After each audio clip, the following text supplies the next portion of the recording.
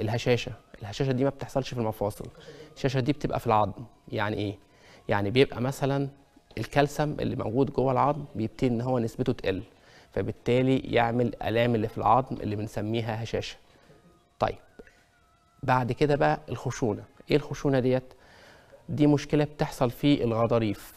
بتبقى الغضاريف نفسها بتبتدي تتاكل أو تستهلك.